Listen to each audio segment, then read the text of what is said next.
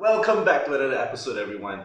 I hope you're having a wonderful Sunday, and you know, this video is going to be a really special one because it's going to be a playlist.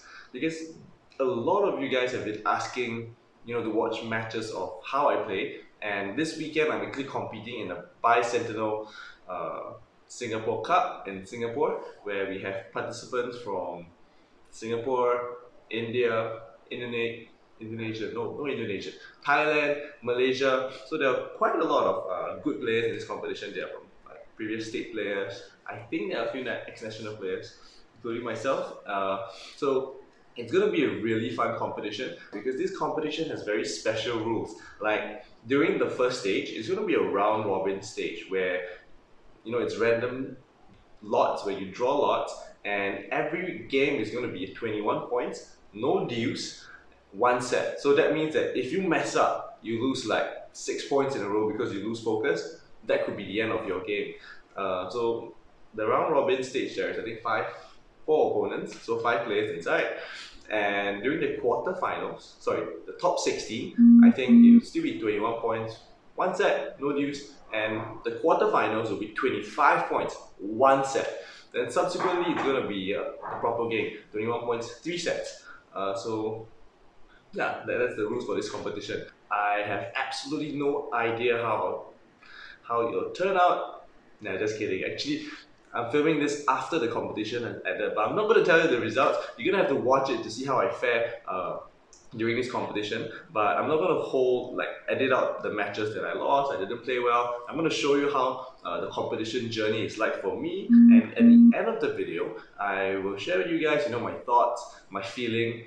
Uh, my feelings in participating in this competition. So it's going to be a really exciting competition, guys.